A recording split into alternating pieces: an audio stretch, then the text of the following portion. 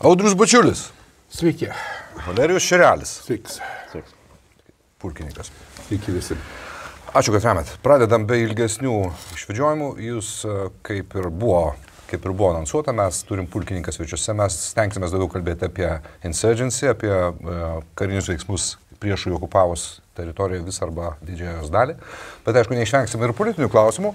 Ir nenustepkite, jeigu kartais Valerijus negalės atsakyti kokį nors panašų klausimą, nes jis yra statutinis pareigūnas ir tai yra visiškai suprantama. Gerai, pradėsim nuo klausimo, kurį parašė Domas ir tas klausimas yra praskaidrint nuotaiką visų. Stebint karą Ukrainoje, ar nevertėtų įsigyti poros batalionų traktorių, sako jis. Bairis aiškus, bet, bet a, jokai jokais. Ten iš tikrųjų yra atveju, kai su traktoriumi nutempia. Algi, aš kitą dalyką pagalvoju, tai žiūrėdamas. Pavyzdžiui, pas mus dabar jie atvažiuotų, kiek pas mus yra tų, kurie sugebėtų užvesti BH, BMP iškę ar, ar sutvarkyti tanko dizelį. Ten tai pilna. Aš mačiau, kad ten kažkas sakė iš tų, kurie nuvarė, sakė, kad pasižiūrėjau YouTube, kaip tai darom. Nu, te, beje, yra Ta- įkrauta dabar specialiai kiem. Ja. Gerai. Andrius klausia, kaip pasikeitė specialių operacijų pajėgos nuo jūsų tarnybos metų? O. O, o. Ne, negi Audriui. Jis tarnavęs sopę, bet ne tam, ne to šalies. Uh, specpajėgos per tą laikotarpį, kai, kai aš jos mačiau, buvau specpajėgų eskadrono vadas Afganistane 2002-2003 metais. Tai tuo laikotarpiu mes siūsdavom tokias gražias ataskaitas namo. Naktinio matymo prietaisai tokie, termovizoriai tokie, bepiločiai tokie, motociklai tokie, nes viso to mes neturėjom. Bet dirbom su, su kaimynais, nenoriu valstybių var, vardinti ir mm. mus mokina taktika yra tokia, jeigu turi tokią priemonę. Tai viską, ką išvardinau šiandien, turime ir puikiai galim naudotis. Tvarsme, snaiperiniai ginklai yra smarkiai, tvarsme, up to date, pasakykime taip. Ir jeigu, sakykime, tuo metu pas mane ten buvo ten FRF2, tose prancūziška klasika, mm. tai, tai taip jisai geras šautuvas. Bet jie metų daug. Ir, ir technologijos smarkiai pasikeitė. Ir kai atsiranda papildomos priemonės, atsiranda tam tikri pranašumai. Mes viską skaičiuojam tokie, pjūviais, tikslai, metodai, priemonės. Ką noriu pasiekti, kaip man to reikės siekti ir kokiu priemonių man tam reikės, žinai. Tai kai tu susidedi viską į, į situacijos kontekstą, tai ir rengimas keičiasi, ir taktika keičiasi, ir priemonės keičiasi, ir tada, sakykime, tas veiksmingumas, galbūt taip pasakykime, arba paveikumas į taikinį tampa visai, visai kito kalibro. žinai. Arnas klausia, kodėl nematome improvised explosive devices naudojama Ukrainoje. Labai geras klausimas. Tarp kitko, jo. Tikrai labai geras klausimas. Ir, pavyzdžiui, kadangi aš buvau Afganistane antrais, trečiais, ir paskui buvau Irake penktais, tai tuo periodu Afganistane improvised buvo retenybė, žinai. Vienoje vietoje buvo dviratis, kaip sakant, visas reimas buvo užlėtas, kaip sakant, sprogmenimis, bet tai buvo vienintelis toksai unikalus dalykas ir mes galvojom, kas čia. Bet buvo labai daug minų, žiauriai daug minų.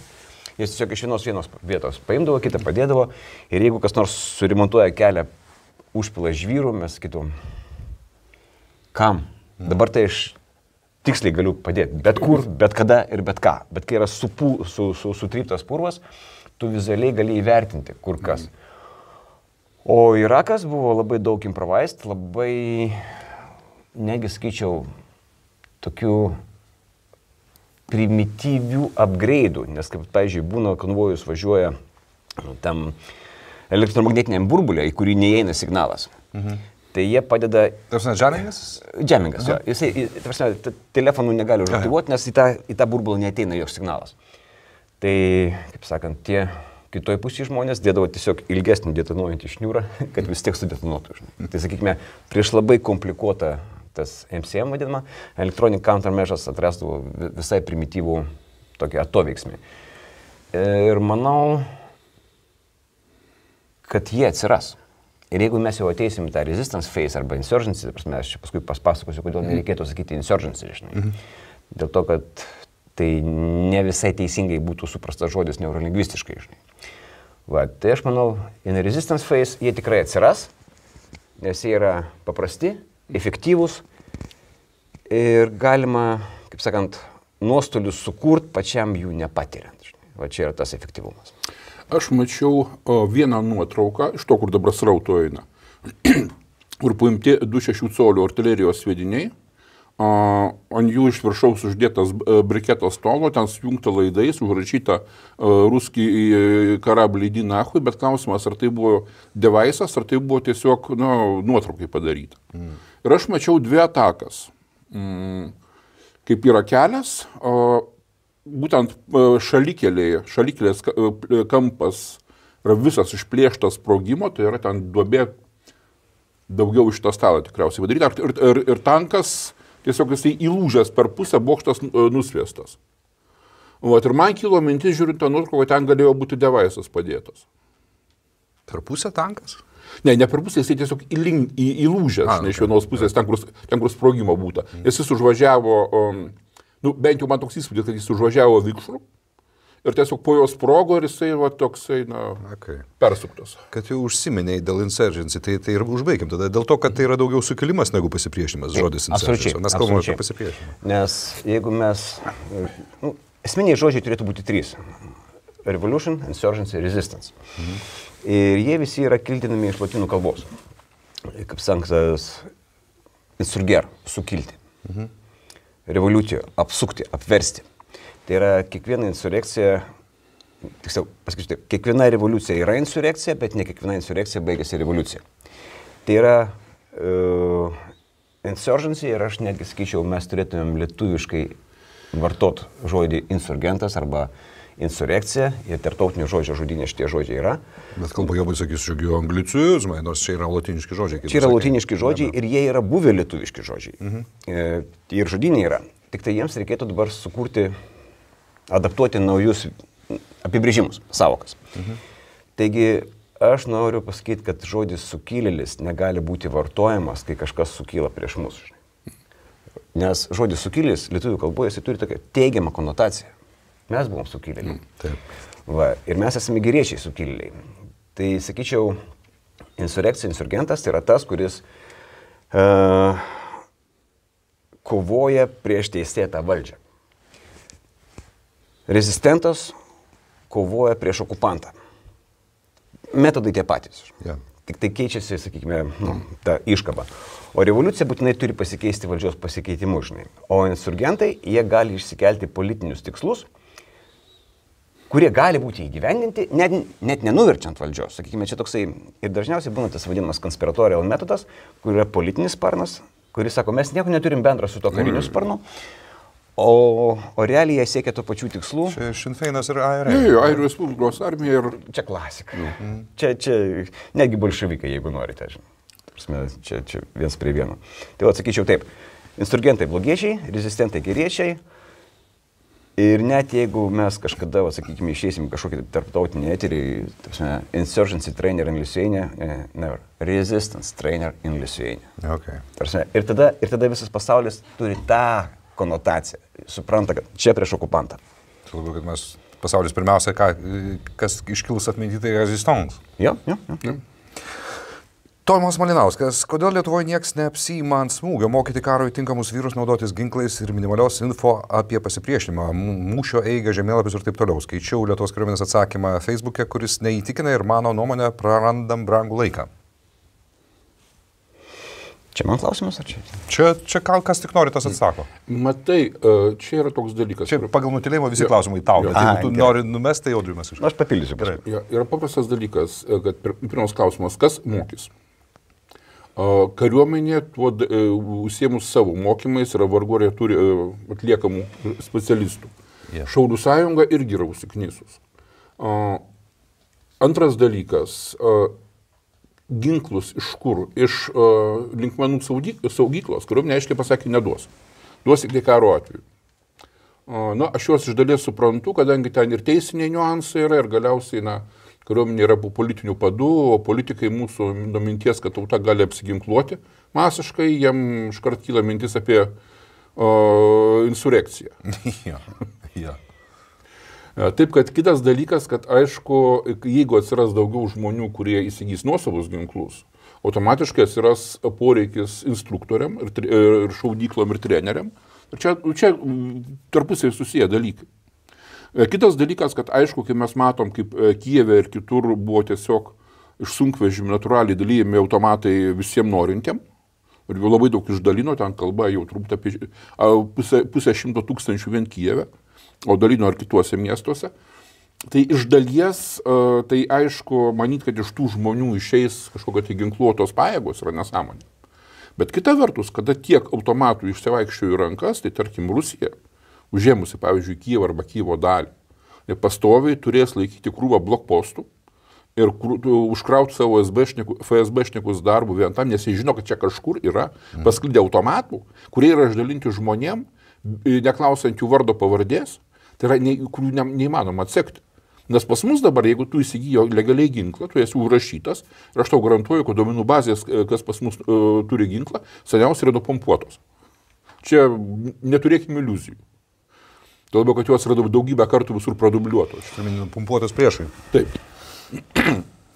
Bet štai kiek kam tu išdalini, vat, būtent taip, kaip išdalino uh, ja. ukrainiečiai, tame tam tikros minties yra. Tik žinoma, nereikia manyti, kad ten kokie, žinai, keturi ar penki patsaniukai, uh, kurie pasiėmė automatus ir dabar su tais automatais pozuoja Kyivę, kad jie gali turėti kažkokią tai, na, būtent kaip kovinį efektą. Ok. Valeriau pridursikas? Jo, uh, užsirašiau du žodžius. Taip. Apie piliečių rengimas. Uh, Karybos institutas yra po mokymų doktrinų valdybos vėliava. Mokymų doktrinų valdyba karo metu virsta į trečią brigadą, brigadą aukštaityje. Ir, sakykime, rezervo rengimas yra mūsų nuolatinis darbas.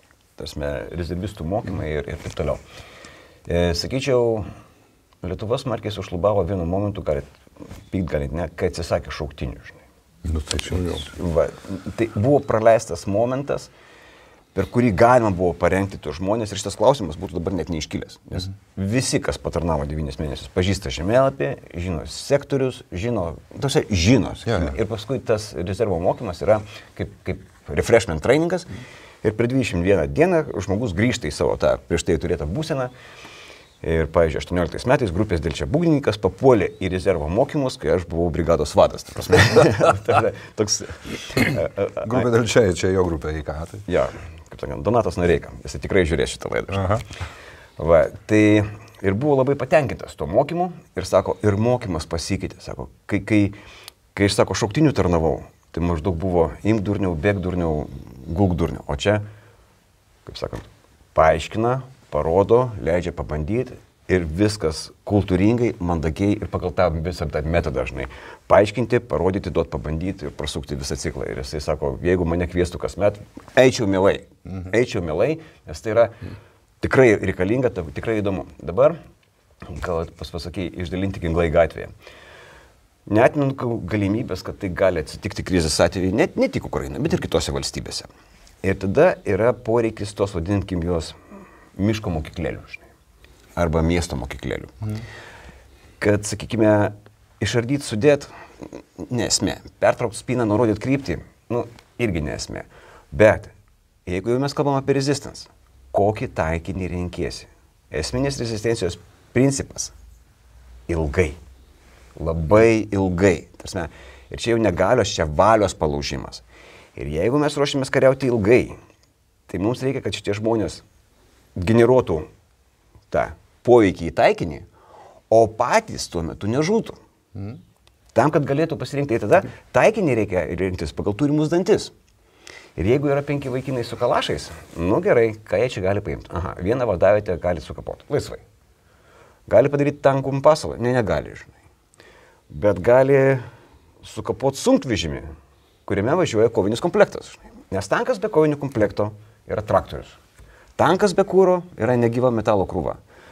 Alkanas kareivis nori valgyti ir jisai ateina ir sako, дайте жрать, воевать не хочу. Mm. Yra tokia logistika. Ir sakykime, tiem rezistentams logistikos ryšių, sakykime, dar tokie elementai, jie yra įkandami, bet kai ateina emocijos, žmonės net nesupranta, kad į šitą atstumą, tarsi, tu net poveikio nesigeneruosi, nes tavo kulka iš tokio atstumo efekto nepadarys. O iš baimės sakys didelis. Matau už 2 km, davai pašaudom. Nu. Ir kas? Tikimybė, kad kad klius ir ir su, su efektu, nu, tikrai nedidelė, žinai. Nu, ne snaiperiai. O tai aš sakyčiau, mokyti reikės. Kitas dalykas, aš manau, kad e, kadangi pagal Šaulių sąjungos įstatymą, dabar biški virš savo daržo lipu, yra parašyta pilietinės pasipriešinimas, tai manau, kad piliečių rinkimas nuotoliniu būdu, paskaitos, dar kažkas tai, nes tenai yra žmonių, kurie galėtų vesti mokymus. Klausimas, kaip čia pasakius, kaip geriausiai tai organizuoti, bet sakyčiau, jeigu mes tikimės, kad mums pridavonos dževelinų, tai YouTube filmukas, kaip tai užsikūrė ir suveikia, irgi būtų mokymo priemonė. Okay. Eikim toliau. Mhm. Visvaldas, kaip atrodytų šio laikinė insurgency, nu, sutram, kad vadinsim, e, rezistencija, lyginant su Lietuvos partizanais okupacijos metais, skirtumai ar panašumai? Uh, manau, kad koncentruosis ne į miškus, o į miestus. Tarsi, tarsi, Čia net, net aš žinau. nu, tai, sakykime, esminis klausimas. Uh, kad bus reikalingi tie visi, visi elementai, pavadinkim taip, uh, vadovybė. Mhm. Karinė vadovybė, civilinė vadovybė, egzilinė vadovybė, šešėlinė vadovybė, vadovybė čia, vadovybė ten. Um, čia, vat, sakykime, ta, tas būtų lygiai taip pat klasika. Ir, sakykime, yra vadovybė, yra kovinis elementas, kovinės paramos elementas, kovinio aprūpinimo elementas, visos šešios mūšio funkcijos - žvalgyba, manevras, vadovavimas, logistika, ugnies parama, informacinės operacijos. Ir tada, kai mes jau kalbame informacinės operacijos, tai reikia žiūrėti, kad tada interneto nebuvo dabar yra. Kaip mes užtikrinsim, kad internetas veiktų, žinai. Nes kad generuos poveikį į bokštus ir translatorius, nu tai faktas, kad generuos, žinai. Vadinasi, reikia sugalvoti kažkokius Wi-Fi burbulus, dar kažką tai, dar kažką tai. Ir jeigu jau mes kalbame apie informacinės, tai sakykime, Stratkomas yra prie šešėlinės vyriausybės, Stratkomas yra prie egzilinės vyriausybės, Stratkomas, netgi ne Stratkomas, Takomas turėtų būti tiesiog vietoj. Uh, sakykime taip, kolaborantų gazdinimas, Nebūtinai skirdimas, gazdinimas, tarsi. Mes jūs matom, mes jūs žinom, ar iš tikrųjų norite šito, žinai, tarsi, kad, kad, kad trikdyti veiklą. Ir sakyčiau, žiūrint į visą tą mastą, turėtumėm nusipaišyti maždaug tokią schemą. Tikėtina, kad bus keturių rūšių teritorija. Su priešiška administracija, su draugiška administracija, neiškios administracijos arba iš viso neaišku kieno vėliava ir tiesioginio konvencinio kontakto. Žinai. Tai sakykime, žmonės turėtų labai aiškiai suprasti, ten, kur jo administracija, aš esu rezistentas. Ten, kur mano administracija, aš esu komendantinė tarnyba, aš stebiu, vertinu, gaudau diversantus, saugau objektus ir, ir žinau numerį, kuriuom reikia paskambinti, jeigu pastebėjau kažką įtartino. Žinai, čia aš remiu administraciją, čia aš trikdau administraciją, neiški, aš administracija, aš meras, iškabinau tris spalvę, žinai, tarsi, tarsi, aš, aš pats nusprendžiau, žinai, nes tada atsiranda nu, ta, ta sistema. Ir tiesioginis konvencinis kontaktas, geriau tenai nebūti, žinai. Nes kai ateis sąjungininkai, kaip sakant, o. Junktinės valstijos labai labai labai labai air to ground happy, žinai. Tai gali tiesiog... Jie ne... mėgsta mėtyti. Jo, jie, jie labai mėgsta šaudyti iš, iš aviacijos ant žeminius taikinius ir, vat, kaip buvo tas maždaug 60 km ilgio kolona, karikatūra Facebook'e, ašarų baloj guli lakūnas, A10 lakūnas. Mm. Tarsi, ir jisai žliumbė, nes, prasme, nes A10 jisai yra skirtas tokiem taikiniams, bu, bu, bu, bu, bu, ir, ir, ir jam neleido. Čia, aš sakyčiau, uh, orgazmo šitoje vietoje rūpų kompešnai. Nutrauktas dar blogiau. Ja. Tai vad ir, ir mes vėlgi kalbam, kaip sakam, gerai, kaip turi vadintis procesai, kurie yra priešo užimtoj teritorijai. Ir attrition ne visai tinka, nes to masto, kas sulinta po žodžio attrition, prasme, jisai nu, nesueina. Žinai. Sekinimas būtų lietuviškai. Būtų sekinimas, bet esmė tame, kad tas attrition jisai turi mastą. Žinai. Pažodžiui yra sekinimas, bet pati savo, kad būtų ne tas. Žinai. Sakom gerai, o galbūt delay, nu, tipo stabdymas. Mm. Bet stabdymas iš tikrųjų yra teritorinės gynybės funkcija, ne, ne rezistencijos. O čia tai yra, jie kaip ir persidengia, bet negalima tą patinti rezistenciją su teritorinė gynyba. Ir mes sukūrėme institutė terminą, pavadinom jį alinimas. Ir mhm. nupiešėm štai tokį ženkliuką. Va. Ir apibrėžimas skambėtų maždaug taip. Alinimas. Tai taktinių veiksmų grupės ir sekos skirtos sekinti priešiškų paėgų resursus ir vilkinti jo procesus. Ir va čia mes jau ateinam, va, va, ką reikėtų daryti. Kad jam nepavyktų, kad jam pavyktų vėliau, kad jam pavyktų blogiau. Ir tada atsiranda daugybė dalykų, esmė, padangą kažkas pradūrė, sandėlį kažkas padegė, grafitį nupaišė, laidus nukirpo, e, cukraus į benzobaką pripylė. Yra daugybė dalykų, kaip sakant, kurie kaip ir kinetiniai, bet nesmurtiniai, pavadinkime taip. Mhm. E, praeitą mėnesį irgi tokį eilėraštį parašiau, tarsi, ant, ant to pykčio, kaip sakant. Maždaug grafitis ant optikos tai sabotažas. Jį gali piešti didelis, gali piešti mažas. Žino iš anksto priešo desantas kiekvienas lietuvis širdį diversantas. Rimuojasi, šiais laikais tai labai retas dalykas. nu, stengiausi. Gerai. Gerai, tai einam toliau, ne? Mhm. Uh, Tautvidas Savukaitis klausia, jeigu nori tapti profesionaliu partizanu, kur kreiptis? Uh.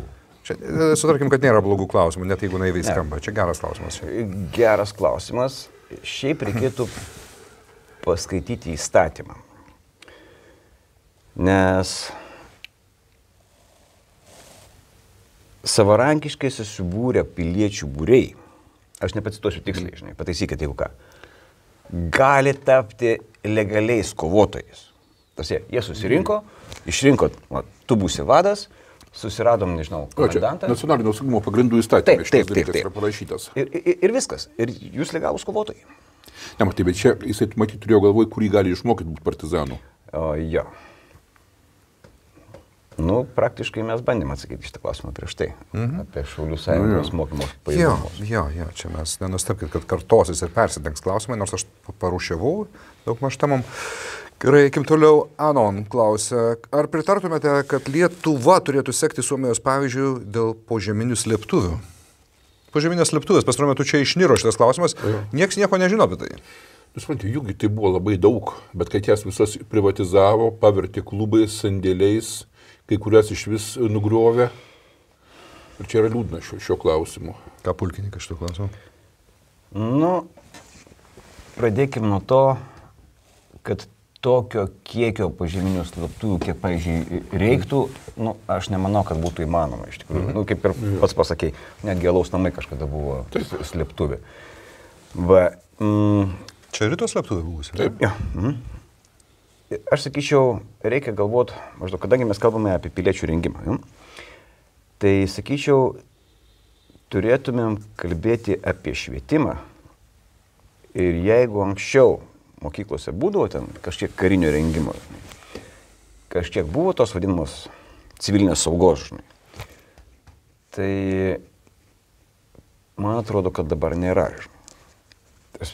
Ir sakyčiau, kad turėtų būti tas formalus rengimas, kur, sakykime, ta pirma fazė būtų, ką tu turi daryti, kad išliktum. O paskui, ką tu turi daryti, kad mes laimėtumėm. Bet iš pradžių tu turi išlikti, žinai. Mhm.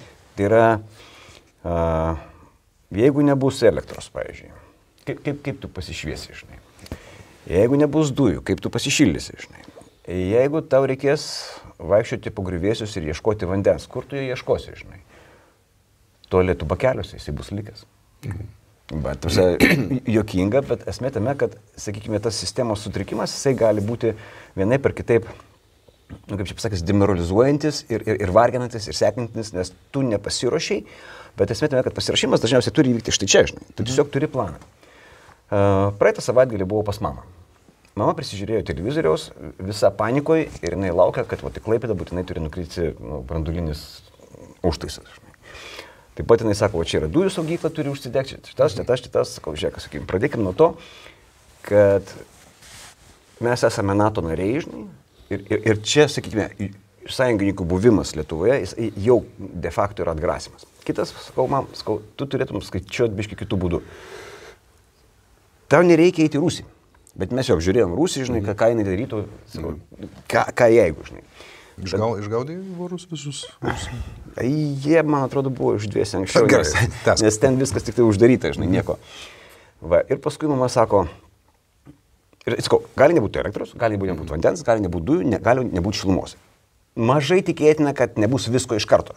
Gali būti įvairios kombinacijos. Nu, tai vienu žodžiu, sako, o vėlinių žvagutės yra labai gerai, nes labai ilgai dega. Mhm. Sako, nupirk degtukų. Nueinu į parduotuvę, nėra degtukų. Nėra degtukų, aš nupirkau dar tris žvagutės, gražią, taip geltoną, žalę, raudoną. Nu, kaip sakant, tokią pat komplektą geltoną, žalę, raudoną, po žieptuvėlių. Ateinu, sakau, nėra degtukų, mama sako, tai ką aš darysiu, sakau.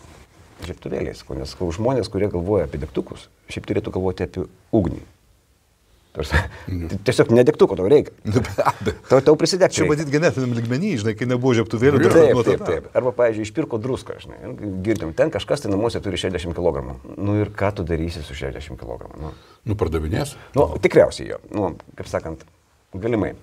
Ir tada mama supranta, kad su šviesa viskas pasie gerai. Sako, jeigu nebus vandens. Ir mama užduoda paprastą klausimą. O tai kaip, kaip su kakučiais? Sakau, taip kaip kareiviai žvalgyboje. Į maišelius. A, Tai jinai jau, jau, jau rušiuoja. Šitie maišeliai kakučiams, šitie maišeliai tam, šitie... Tarsi, planas atsirado. Mhm. Tarsi, ir jau pirmadienį jinai man skambina, pasakoja, kaip jinai sugalvojo, kad vat, čia bus trilitrinis tam lengvam reikalui, užsidaromas su plasmasiniu daikteliu, čia bus maišeliai, šitie maišeliai eis į kitą maišą ir paskui, kaip sakant, kad nesmirdėtų, jinai, kaip sakant, išsineš, kaip sakant. Paskui vaistukais pasirūpino, Susidėjo tokį lervinį čemodaną, bet kadangi čemodanas jį sunkiai nešasi, tai aš dar vieną ku- kuprinį palikau, sakau, bet sakau, tas, kas bus čemodane, žinai, turi būti ne arba arba, bet ir ir. Mhm. Vanduo yra ir čia, ir čia. Konservas yra ir čia, ir čia. Vaistukas yra ir čia, ir čia. Žvakutė yra ir čia, ir čia. Ir, ir svarbiausia, kaip sakant, aš jį sakau, tau nereikės. Šito pas mus nebus, žinai. Bet jeigu tu nori jaustis ramiau, tai tas, kuris turi planą, jisai jaučiasi ramiau. žinai.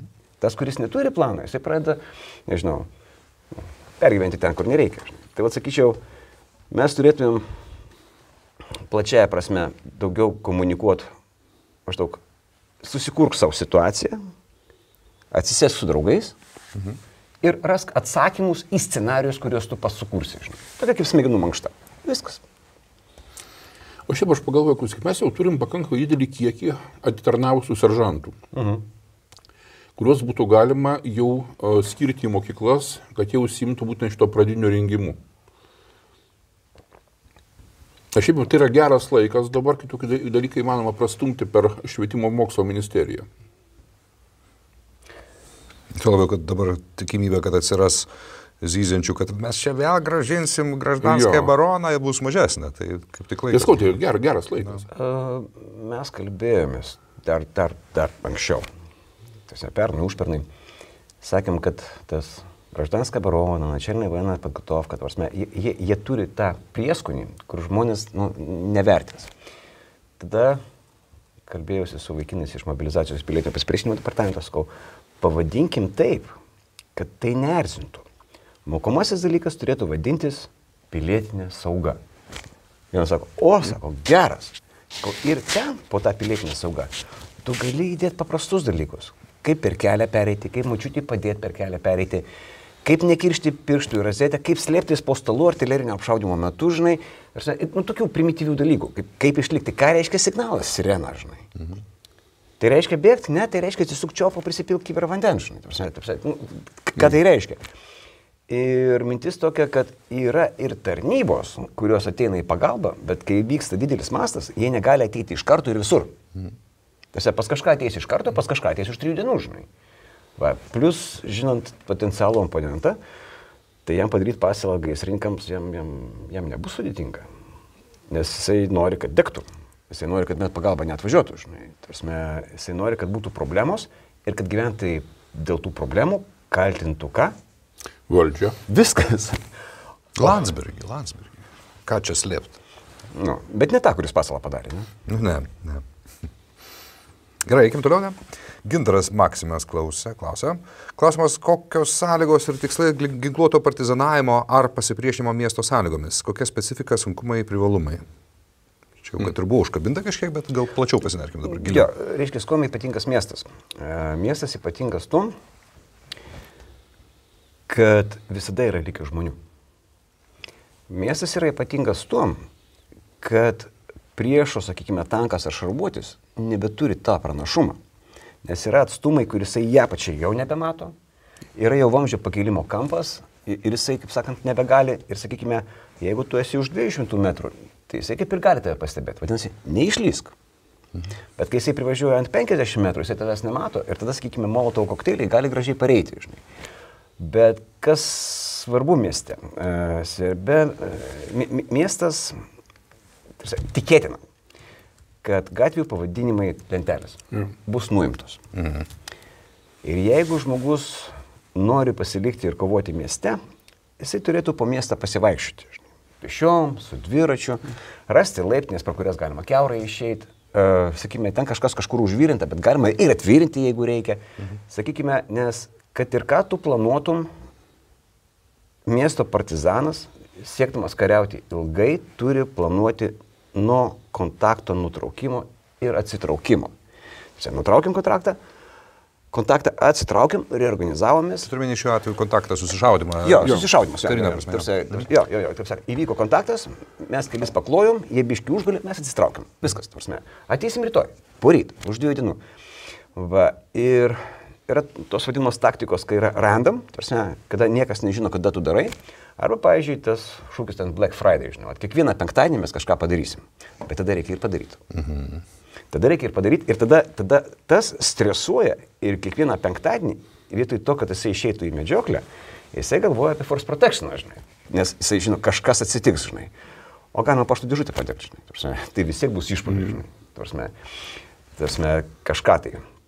Tai sakyčiau, ir miestas yra ypatingas tom, kad jame labai sudėtinga turėti, nu, tipo bunkerio kažkas tai, žinai. Nes kažkada mes, kaip sakant, pasidarėm bunkeriuką mi miške, žinai, tarsi, tai viskas kaip ir ok. Čia vaikystė ir šiais laikais. Nes vaikystė visi darėsi. Nu, tarsi, pavadinkim jau šie laikai, Gerai, be, gerai. be, be, bet ne šiemet, gerokai anksčiau. Gerai, gerai. O dar prieš tai mes pagalvojom, pasidarykim pratybas griuvėsiuose. Mhm.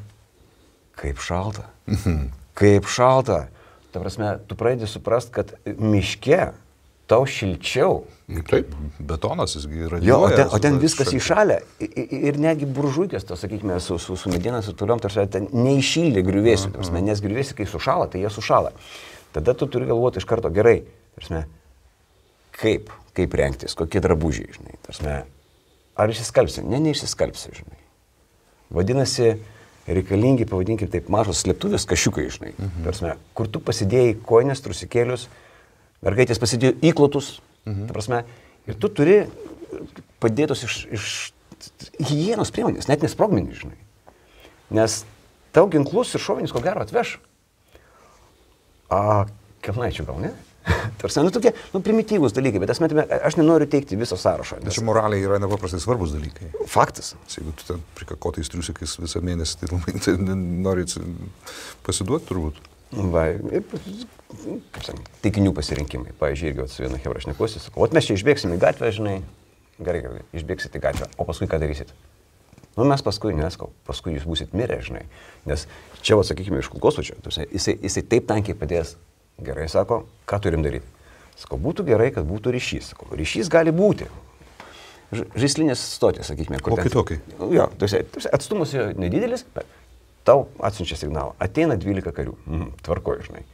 Tarsi, tavo šaulys yra gatviai ir tu jam sakai, o eis 12, klausimas, kurį kali? Nu, tai patį pirmą. Ne, jie iš karto įsipersikėjimą. Kali paskutinį. Tarsi, tu jį nukaliai, jie bando susigaudyti, iš kur kulka parėjo, o tu iš karto į tarpuvartę. Viskas. Viskas, ta prasme, reikalingi, sakykime, du žmonės. Kitas momentas, jeigu bus persikėjimas, ar yra pas tavę dar komanda, kuri padarys pasalą persikėjimui? Mhm. Nes čia yra nu, planavimas, tiesiog kiek būtų galima dėliotis. O miestas, miestas, taip sakant, dėžutė, dėžutė, dėžutė, dėžutė, žinai. Ta prasme, ir tada, jeigu jam reikia jų izoliuoti, žinai, žmonės pro langus mato, žinai, kokias sankryžas atkirtinėja ir taip toliau, žinai. Tiesiog, vėlgi. Ir, sakykime, močiutės ant suliuko yra, nu, nereali žvalgyba. Jos viską žino, žinai. Nu, dabar, kai mes matėm, žinai, iš, tarkim, iš, Harkovo, kaip Harkovo važiavo ru- rusų žvalgų grupės trys. Mm. Tik juos filmavo praktiškai einamojų laikų. Taip. Ir visi, kas sėdėjo prie, tarkim, Harkovo... Manau, kad turime iškart transliavo per sos tinklus? Taip. Laivas, ok. Ten praktiškai e, buvo, buvo galima žiūrėti jų važiavimą ir jų laivas. laivų. Okay, okay. E, Klausimas, nenorėjau pertraukti, laukiu, kol užbaigsi. Dėl moloto kokteilių labai nuskambėjęs dalykas. Ar jie šiais laikais realiai veikia prieš šiolaikinę techniką? Ar čia... du- Ja? Tarsi, ta, tas tepalas su benzinu sumaišytas yra tikrai piktas, sunkiai gesinamas daiktas, tam tikrą prasme napalmas. Tas, ja? Nu, nevadinkim jo napalmu. Yra Bet pataikyti reikia, sorry, reikia pataikyti į galą, kur variklis ir panašiai, Taip, kur anglas. taip, taip. Ar, arba ant stebėjimo angų. Mhm. Tarsi, tas skystis turi patekti, turi patekti į vidų. E, ten, kur variklis nudenga laidai nuo žvakių, viskas sustoja. Kitas momentas reikia suprasti, kad kai granatsuodis pataiko, jis sustoja iš karto. Kai moto kokteilis nukrita, jisai nesustoja iš karto. Mhm. Va, jisai piktas, taip jisai piktas, yra skirtingos receptūros, pilnas, pilnas Facebookas, galima maišyti su tepalu, kiti tirpdo tą penoplastą, Jo, kiti šitas. drožia parafiną, kiti deda ūkišką muilą. E, Esminis elementas turi būti degioji dalis, tas benzinas pavadinkim, mhm. ir turi būti tas tirštiklis, kuris prilipdo tą degančią medžiagą prie, prie bilekūrų. Ir, pavyzdžiui, kas gerai dega? Gerai dega padangos, jos ir pačios paskui užsidega, bet turi užsidegti, žinai. Kaip sakant, kliūna į variklius, viskas gerai. e, Ir jeigu jau paskui žiūrim, ten, o kodėl jie čia, čia medieną prieš variklį pastatė, žinai? Taip, štai ką galvoja, kad neperšaus, žinai. Ne, radiatorius apsaugomas. Taip, apsaugo radiatorius ir kitas momentas, prasme, jeigu mesti tą kokteilį į ten, tai, kaip sakant, būtų, būtų ta vieta, žinai. E, kitas momentas labai svarbus. E, kontrmobilumas, žinai. E, tankam vienodai, bet esmė tame visi, kurie turi nu, padangas, žinai, yra tie vadinami kaltropai arba ežiukai, žinai. Tai prasme, 91 mes karpėm spiguliuotą vėlą, bet tik tai palikdom tos ilgesnius, kad pradurtų kažką tai. Bet jeigu Tarsi, karpėt, kad padaryt mažiukus, ežiukus. Ta- teisingai jo, supratau, aha. jo kad, maždaug pumpt ir, jį užlenki vieną šitaip, kitą kitaip, kad jisai vis tiek kažkokiu būdu vis tiek stovėtų. O jeigu rimtai, tai galima juos daryti normalius, galima juos berti. Policija turi tuos kilimėlius, pavadinkim taip, rūkt, viskas. Praktiškai, neprisimenu, kažkoks vienas vadinasi Magnum. Tai yra, jisai ima bet kokią padangą. Mhm. Bet kokią. Ir dabar įsivaizduokit, tai eina kolona, veža nesvarbu ką. Mhm. Ir pirmos trys mašinos praranda visas keturias padangas. Tarsi atsarginė turi tik tai vieną. Nes pas tavai tai dvi atsarginės padangos, teisingai? Ne. Mašinai. Ne, pas mane viena, kodėl dvi turėtų būti? Nu dėl to, kad o jeigu dvi pradursi. A, ok, tai pas mane dvi tada. Jo, jo. Nes esmė tame, kai tu prarandi dvi padangas, tai be tiek pagalbos tavęs ir ištraukti negali. Mm -hmm. Tu strigai ilgam. Paskui atvažiuoja tiek pagalbos su padangom, aš žmonės jau žino, kažkas čia sustrigo. Ne, ne, nu. Va, ir tada, tada tas agresorius, jisai turi dar ir apsaugai paimti elementą su šarvuošiais ir su tankais, tam, kad sutvarkyti logistinės padangas. Tai, tai nereiškia, kad jam nepavyks susitvarkyti. Aš atsiprašau, iškart klausimas, o jeigu padangos ką, nėra savaime prisipučiančios? A yra įvairių. Tai prasme, mes... Suprantate, ir yra ten tas uh, daugelį rusiškų sunkvežimų, kur toks- du- du- duoda... Nu, eina Uh, toks vamzdis iš... tai a, du, anksčiau buvo iš viršaus, dabar, dabar per, parašy deda iš vidaus, bet spėk, keliuose rusiškose sunkvežimiuose jie veikia. Ja. Antras dalykas, e, kiek ten bebūtų, supranti, tu visą laiką nepripūsai, žinai, kad tu toli. Tu, tu gali išėti iš po apšaudimo su juo šitai, bet tu nuvažiuosi 100 metrų, 200 metrų, Jo. vis tiek tu išleisi orą. Ok, tai Molotovo, o jeigu taip trumpai, šiaip geriausia būtų pasigūglinti, bet jeigu trumpai, koks ten santykis benzino su tepalo? nu, kaip sakant, sviruoja. Nu, pusę per pusę. ar Pusė ten- per pusę, bet dažniau tepalo netgi mažiau negu pusė. Mhm. Kaip į motociklą. Jo. Svarbiausia pilno butelio nepripilt, nes nesuduš. O, gudrė. Va. Ir dar vienas momentas. Mhm. Nes esmė tame, kad tas skudurėlis, sakykime, tas, kuris eina tam. Daktis. Daktis, vadinkim taip. Jisai skleidžia kvapą, tada mokėti reikia mesti su pirštinė, nes šitas bu- bus degs. Kitas momentas, su kariūnais karo akademijų buvau padaręs, pasimėm mineralinio buteliukų, pripylėm skirtingais ir mėtykite rankinio vartus. Prasme, iš pradžių Hebra juokiasi, kad kas, čia tėra į vartus pataikyti. Ne, čia nėra paprasta. Būtent, tai nėra paprasta, tai reikia ir pasitreniruoti. Taip. Reikia ir pasitreniruoti. Va. Ir dar vienas momentas, kas yra labai svarbu. Tai kad pačiam nesusižaloti, ukrainiečiai sugalvojo tokį, nu, upgrade, pasakykime taip, irgi visai nesenai mačiau. Tarsi, mintis tokia, paima penoplasto, tokį gabaliuką, tokį kvadračiuką, jį išmirko kokteilyje, tada jį suvinioja į maišelį, tą maišelį su izolacija pritvirtina prie, e, įvinioja į medžiagą, pritvirtina prie butelio. Ir Bahūras sako, kai tau reikės mest, tu tiesiog trakšt sutraiškysi ir padegsi. Sako, tada, sako, tu gali mesti butelį kaip granatą, mhm. tau nereikia būtinai mesti, kad, kad daktis būtų viršui. Ja. Ir tu gali jį ilgai sandėliuoti, tau neišdžiūna ir jisai tau nesmirda. Mhm kai tu laikai jį kažkokį patalpoje. Jeigu jau taip eisim iki uh, rimtų dalykų su Molotovo kokteiliais, tai 41 metais Sovietų sąjungoje buvo išrastas specialus sprogdiklis uh, buteliams su benzinu. Tai uh, imamas buvo tuščias šovinys, ta prasme, uh, tutelė su paraku, bet be, be kulkos pačios. Mhm. Ir būdavo toksai uh, ant spiruoklės uh, daužiklis padarytas. Mhm tas dalykas ant gumos arba ant bet, bet kokio pritvirtimas prie butelio, supranti, ir o, prieš metant tiesiog jis yra patraukiamas ir tenai yra nu, kažkas tai tipo nu, kaip lėtintuvo panašiai kaip granatuose. Tai yra, kuris suveikia ten per, per po sekundės kažkur taip paukštelį tą dalyką. O, ir, ir, ir tas butelis tiesiog tu įmeti grinai be, nieko. Iš esmės galima susirasti internete. Uh, Ten, ten labai paprastas dalykas, jos galima pradėti gaminti serijiniu būdu, žinai, bet kada. Be, be, be, be lenkuruoja, žinai, Jėzus Marija, raktų remonto dirbtuvėliai. Okay. Dar vienas klausimas pasirašiau savo, kalbant apie miesto uh, rezistenciją. Uh, paprastoj konvenciniai karybui esu nekartą girdėjęs, kad geriau yra sužeisti priešo karį, nes tada priešas turi daugiau problemų. O kaip mieste? Turbūt nupilti iš karto yra praktiškai. Dėl teroro? Kaip sakant, visai gerai. Prasme, nes, pavyzdžiui, nu, primityvus pavyzdys. Mes kažką paminavom. Nu, kaip sakant, kryptinis, nekryptinis, uh, atotampa nesvarbu. Kažkas driokstelėjo, Hebra išsiuntė inžinierius. Nu, pasižiūrėt. Tai gali būti kombinuota su, su nuverstu stulpu, su medžiu, kaip sakant, nu, vis tiek kontrmobilumas, nes svarbiausia trikdyti. Da, kaip sakant, nušaut ar sužeisti. Geriau sužeisti. Mhm. Geriau sužeisti, nes tada šitą kibrytę bėga gelbėti inžinierių ir šalia atsiranda koks nors sumet krepšių, žinai. Pumšt, antras sužeidžiam, žinai. Juos išnešti reikia jau keturių. Mhm. Iš viso šeši žmonės. Tai beveik skyrius. Jeigu dar sukoordinuot, pavyzdžiui, ke keli taiklų šauliai, sakykime, atlieka sinchroninį šūvį, kai tu nežinai, iš kur šovė, žinai, nustatyti negali. Tai Ką jisai darys? Lieutenantas sakys, atsitraukim ir organizuokime. Tu jau laimėjai. Nieko kaip ir neužmušiai. Mhm. Bet demoralizavimas vyksta visai kitaip, žinai. Ir sakyčiau, tas klikintis iš skausmo raudonarmėtis, jisai, jisai demoralizuoja visą būrį. Žinai. Be abejo. Sakyčiau, bet yra ir kitas momentas, jeigu mes galime, matom labai akivaizdžiai, tas mojuoja rankomis ir turi žemėlapį, žinai, o tai geriau nupūst, žinai. Mhm. Tas nebus kam vadovauti, žinai. Ja, ja. Tai sekantis mojuojantis rankomis, pumčinai, ir, ir niekas nebenori vadovauti. Mhm. Tarsi, ir viskas. Tarsi, moralis kaip ir nesugrioviai, bet niekas nenori vadovauti. Tu paralyžiuoji vienetą. Gerai, kad mes tiek apsistom ties miesto uh, veiksmais. Rusija dėl Alepo ar dėl Čečenijos abiejų karų, jiegi nesėdi vietoje, jiegi turi kažkokių kontrpriemonių miesto gynybai.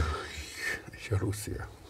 Tai va, kiek, Supranti, kiek, kiek, kiek klaunai iš to. Čia yra unikalus dalykas, bet Rusija, bent jau dabartinė Rusijos kariuomenė, visiškai nesimoko iš savo ankstesnių pamokų. Tai varyti. Kas keiščiausia, kad pas juos lessons launch, tas vadinamasis apibendrinimas patirties yra, bet jisai nepereina į, o, į apačias. Mhm. Čia unikalus dalykas kažkoks. Tai jie patys tą dalyką žino, keikėsi. Nelaidas rašė šiandien, kaip tik Delfi buvo kad jie, jie ne, kažkas lock and loaded ar kažkas, kad jie turi savo šituose vadovėliuose, taip, kaip reikia koloną įt, kad dengimas turi būti. Taip. Ir jie vis tiek jas leidžia šiandien bele kaip. Ir jas taško. Korupcija. Daug dievą. Tai yra korupcija. Dievas savo korupciją rusiškai. Žiūrėk, šitas uh, Michaelas Kaufmanas čia, uh, nu, turbūt daug, daugeliu žinomas ten tas laivyno instituto analitikas, kuris Rusija užsima. Jisai čia prieš kelias dienas pas Twitter'e parašė, kad tipo aš nesutinku, kad dėl visų problemų Rusijos armijos kalta korupcija. Jis aiškina, ten pas juos taktika bloga, dar ten kažkas. Tai, tai, žinai, tai yra žmogus, kuris visiškai nesupranta Rusijos. Jis nesuvokia korupcijos persmelkimo viso, kad pas juos praktikos nėra naujos todėl, kad dėstytojai tai yra blatna vieta.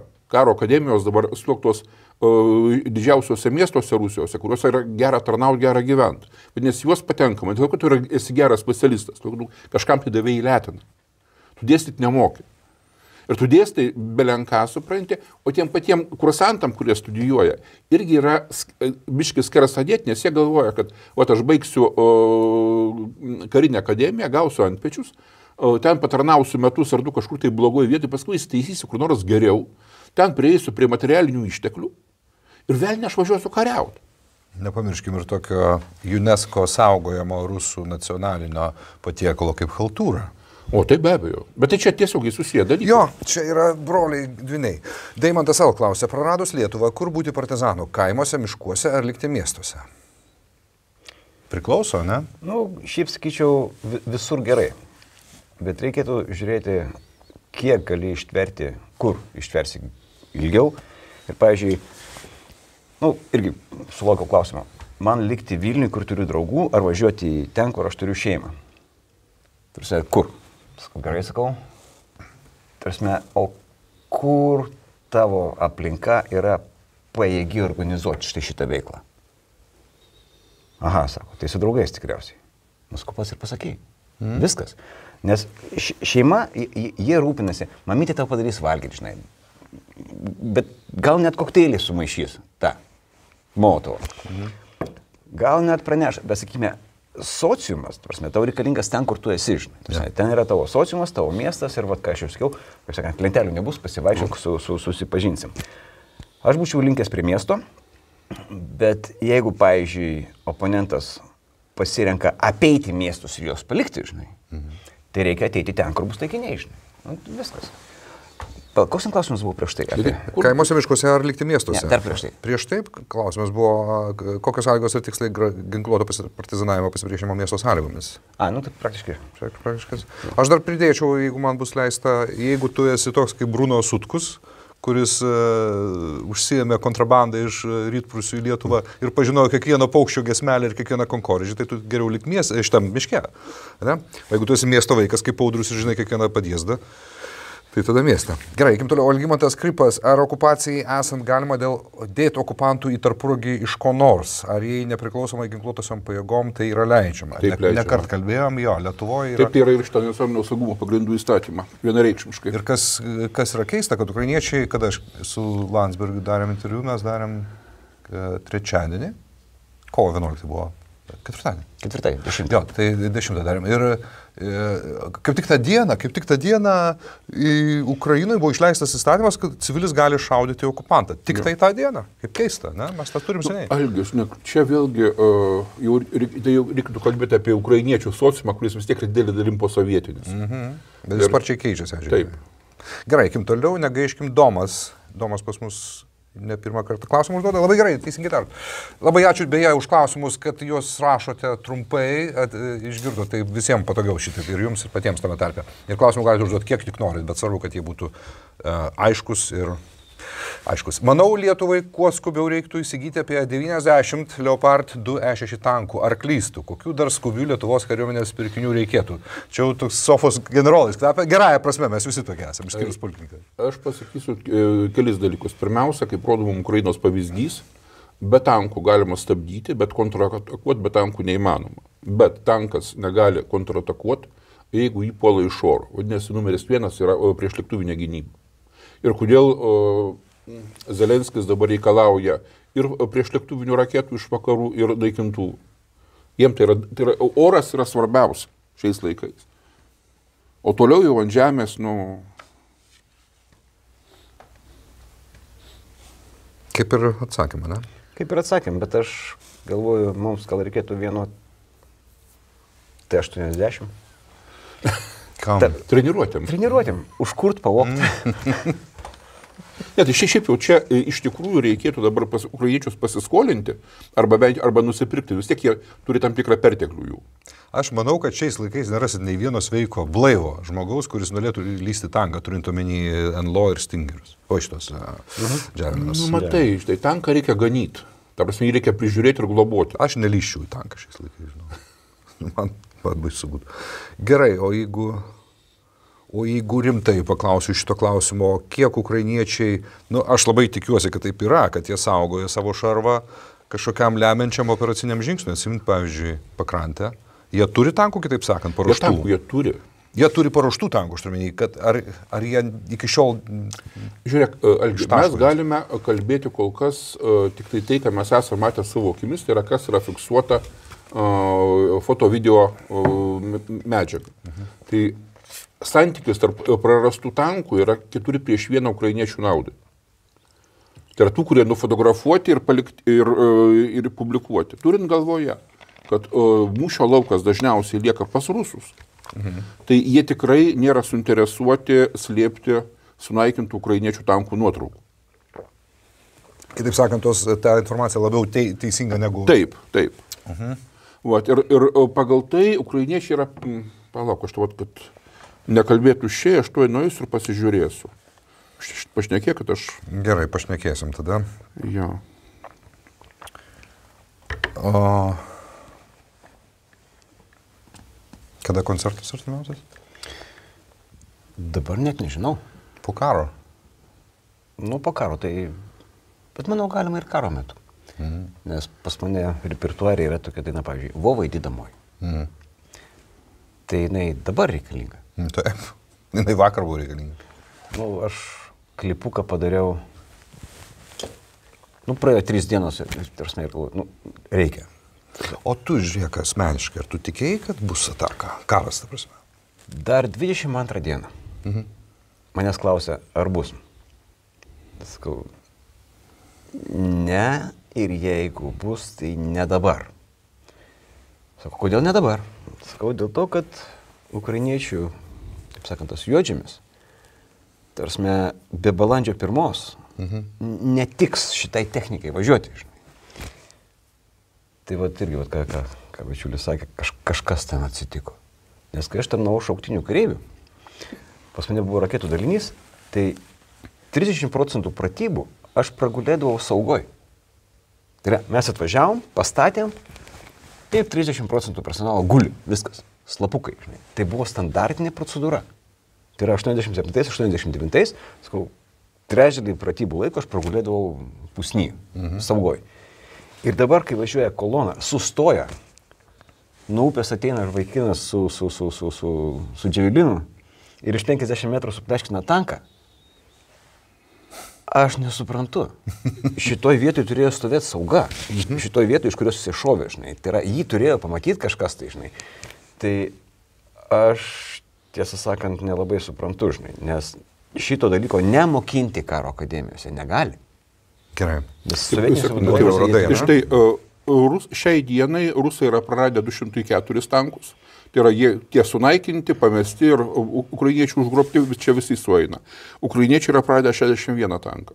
Iš esmės, e, nutvarkoju, tarkim, šimtą jie prarado. Tarkim, kažkur tai 40 tankų nenufotografuota. Bet vis tiek yra labai menki nuostoliai palyginus tai, kiek, kiek jie turėjo. Kiek ukrainiečiai turi? Pusantro, ten kažkas. Jie, jie turėjo arti tūkstančio. Hmm, nėra, nepasakytum, kad labai jau daug. Lyginant su rusais. Nu, bet tai tai- kaip Europos kariuomenė, tai labai daug. Bet tai turėjo galvoje, bet tai, bet tai vadinasi pas juos dar 4-500 tankų kaip nieko stovi parengti. Gerai. Aišku, galbūt jie turi problemų su kūru, variantas yra.